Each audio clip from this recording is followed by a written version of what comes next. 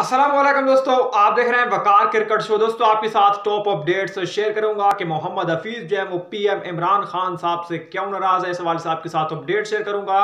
और उसके बाद आपको बताऊँगा कि शर्जील खान की धमाकेदार वापसी होने जा रही है। दोस्तों, इस हवाले से भी आपके साथ अपडेट शेयर करूँगा। और उसके बाद आपको बताऊँगा कि इस्लामाबाद यूनाइटेड की जो दूसरी किट है दोस्तों, वो भी मंजर आम पर आ गई है दोस्तों। इस हवाले से भी आपके साथ अपडेट शेयर करूँगा।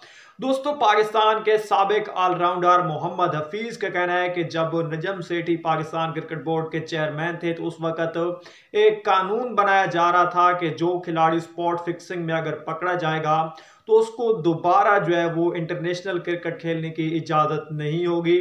लेकिन उसके बाद नजम सेठी चले गए और वो कानून भी ना मान सका तो उनका कहना है कि अब जो पाकिस्तान के प्राइम मिनिस्टर हैं, इमरान खान साहब, जो खुद पहले क्रिकेटर रह चुके हैं तो इनके दौर में भी ऐसा कोई कानून नहीं बनाया गया जिस तरह इमरान खान साहब ने वादा किया था कि पाकिस्तान क्रिकेट में बेहतरी आएगी और उनके मोहम्मद हफीज़ का कहना है कि इस तरह की बेहतरी अभी तक तो देखने को नहीं मिली है।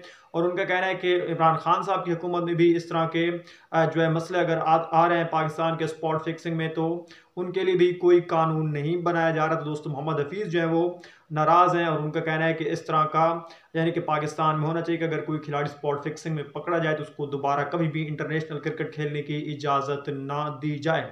इसके अलावा दोस्तों, पाकिस्तान के जो है लेफ़्ट हैंडेड बल्लेबाज शर्जील खान है दोस्तों उनकी बड़ी धमाकेदार वापसी होने जा रही है। जी हाँ पीएसएल में कराची किंग्स की शर्जील खान नुमाइंदगी करेंगे और आज कप्तान बाबर आज़म के साथ शर्जील खान ने प्रैक्टिस किया है और शर्जील खान के फैंस के लिए गुड न्यूज़ है कि शर्जील खान ने अपना वेट भी कम किया और उनके फ़ैन बेताब है शर्जील खान को देखने के लिए कि पीएसएल में शर्जील किस तरह की परफॉर्मेंस दिखाते हैं। दोस्तों, अब शर्जील खान की परफॉर्मेंस का इंतज़ार है कि वो जब परफॉर्मेंस देंगे पीएसएल में तो तब ही मज़ा आएगा। तो दोस्तों, शर्जील खान ने तो मुकम्मल तैयारी पकड़ लिया है।